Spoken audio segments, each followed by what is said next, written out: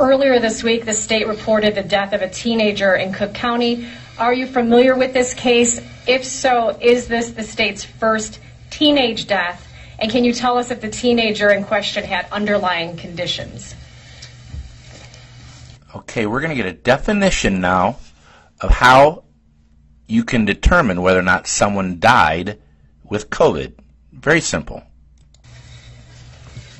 I don't have that information at my uh, disposal at this time. I know um, we have had people uh, of all age groups die. I just want to be clear in terms of the definition of people die.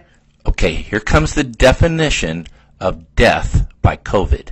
Of COVID. So the case definition is, is very simplistic. It means at the time of death, um, it, it was a COVID positive diagnosis.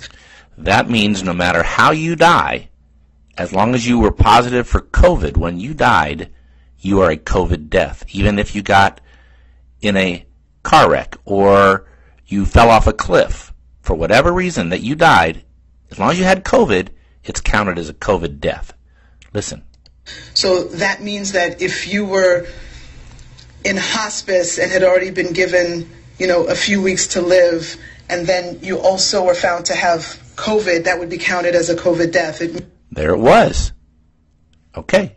She's she's even going to make it more simple for us. Means that if um, technically, if even if you died of a clear alternate cause, but you had COVID at the same time, it's still listed as a COVID death. So, so technically, even if you died of an alternate cause, if you had COVID when you died, it's called a COVID death.